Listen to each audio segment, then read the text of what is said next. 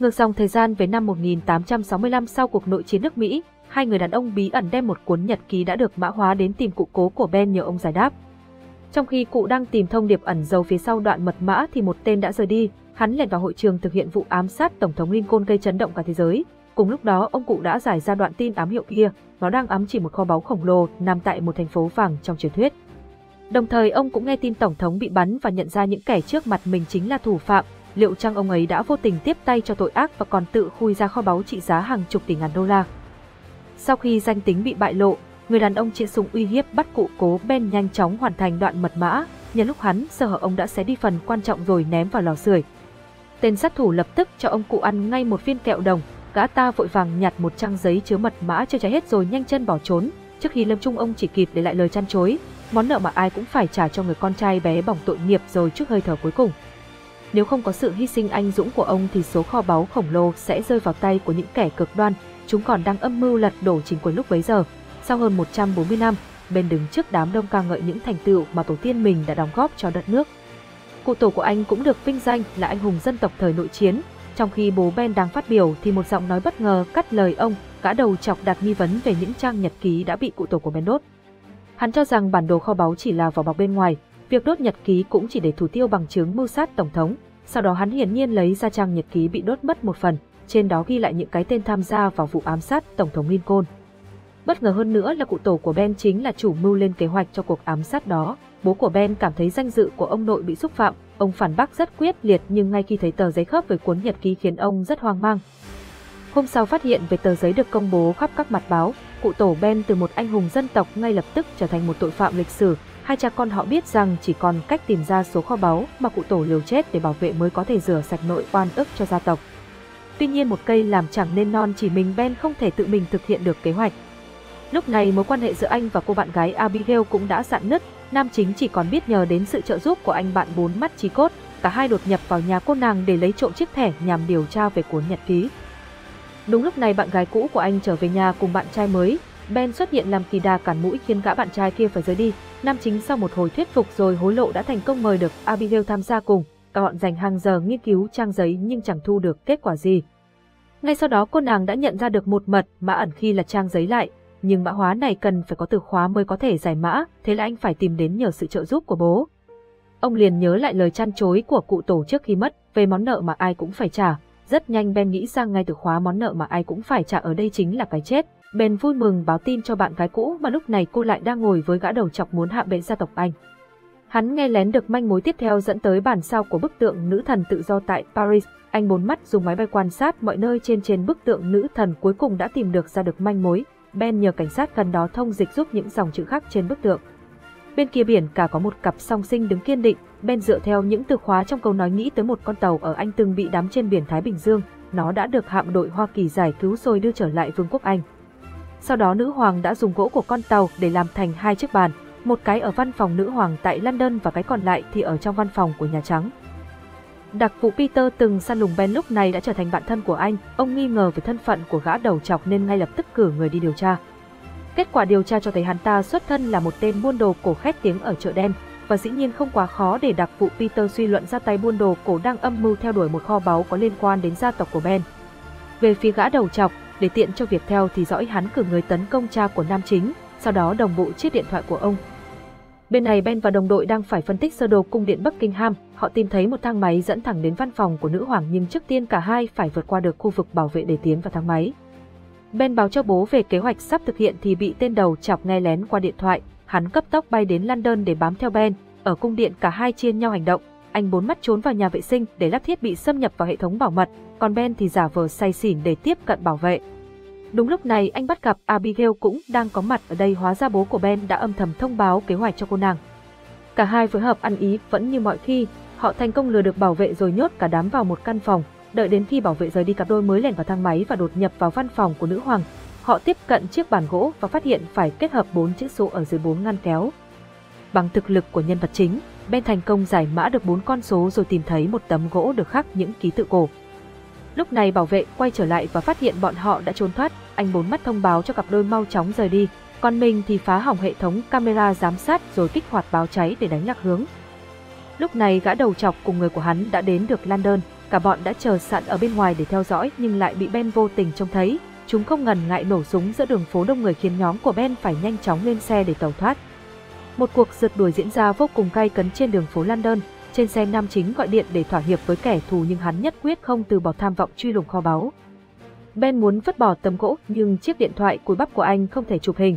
Nhận thấy tình thế nguy cấp khiến Ben nảy ra ý tưởng vật đèn đỏ rồi lợi dụng camera giao thông chụp ảnh tấm gỗ, sau đó để anh bốn mắt thâm nhập vào máy chủ của cảnh sát tải xuống bức ảnh. Quả là một nước đi sáng suốt nên Ben nhanh chóng ném tấm gỗ xuống sông để đánh lạc hướng đám người xấu rồi tranh thủ thoát thân. Cả nhóm tập hợp tại nhà bố của nam chính, ông ngay lập tức nhận ra đó là ký tự cổ ám chỉ thành phố vàng trong truyền thuyết, nhưng không ai trong số họ có thể đọc thành thục loại ký tự cổ này, thế là bọn họ tìm đến mẹ của Ben, bà từng nghiên cứu ký tự cổ trong suốt nhiều năm liền. Bố và mẹ của Ben sau cuộc hôn nhân đổ vỡ đã không nhìn mặt trong suốt 30 năm, tuy vậy họ vẫn tạm gác mâu thuẫn sang một bên để giúp con trai chứng minh sự trong sạch cho tổ tiên. Tấm gỗ đầu tiên đã được giải mã nhưng do bị mất một nửa nên họ phải tiếp tục đột nhập vào văn phòng Tổng thống Mỹ để lấy nửa còn lại, vì cần có nó mới có thể giải mã được toàn bộ.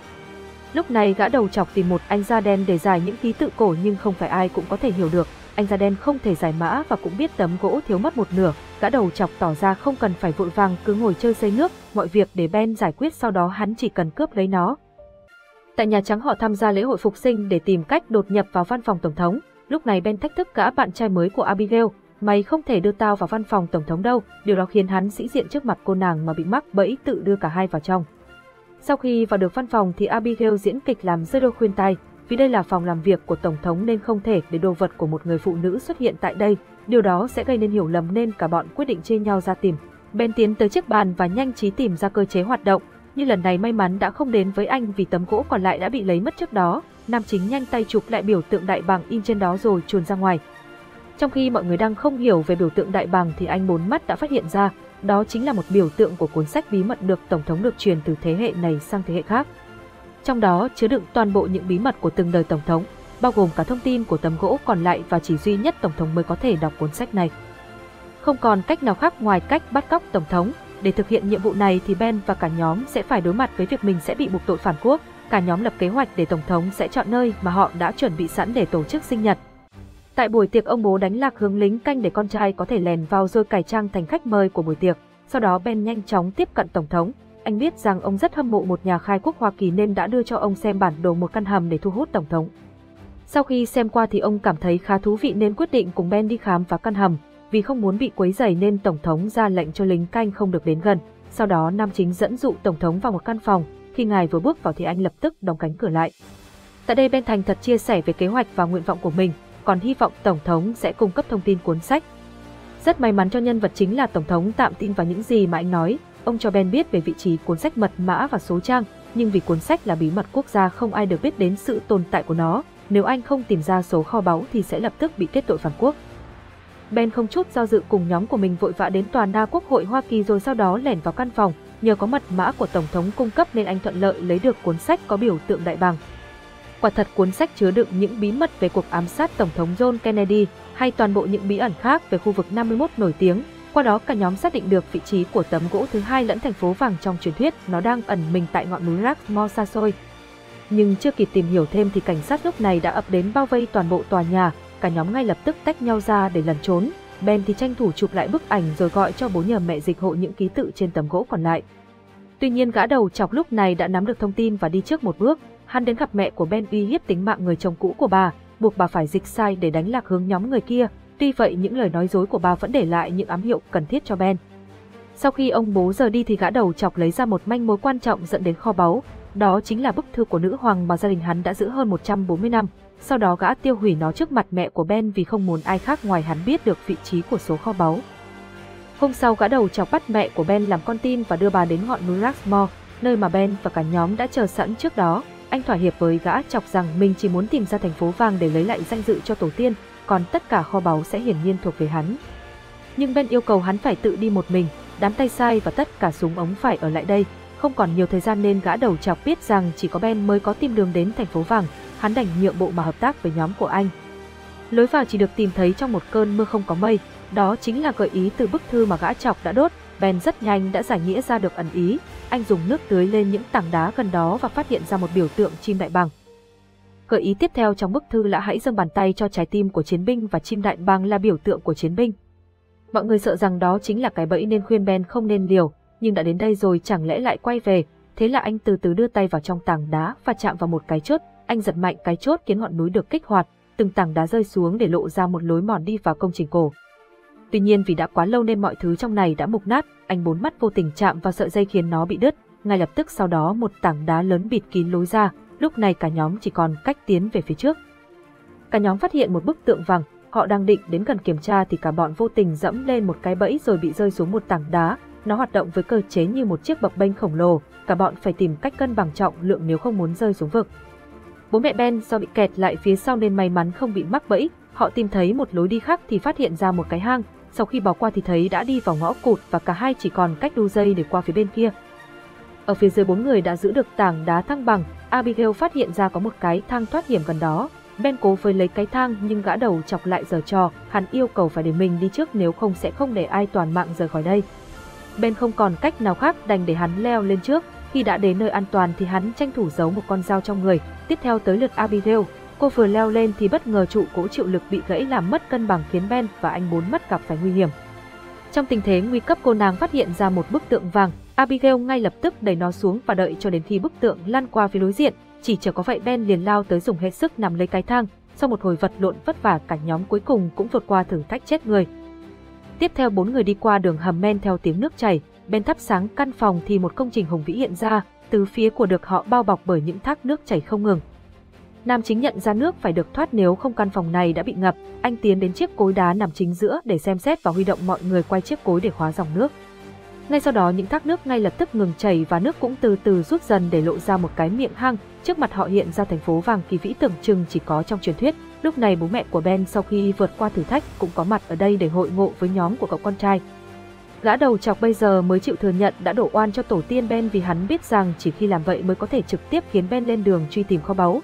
Ngay lúc này con đập không chịu nổi sức nước quá mạnh nên đã bị vỡ, nước liên tục tràn vào trong nhấn chìm cả thành phố vàng. Bố của Ben ngay lập tức thả một tờ tiền trôi theo dòng nước rồi lần theo đó đến được một căn phòng có chiếc cối xay bằng đá khác to hơn.